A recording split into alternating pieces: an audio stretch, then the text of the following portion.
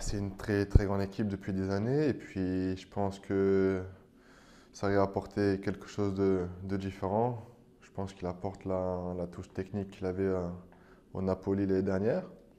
Ça marche plutôt bien cette année, même si je pense qu'il qu mérite d'avoir plus de points. Mais après, pour nous, ça va être un match compliqué, comme tous les matchs.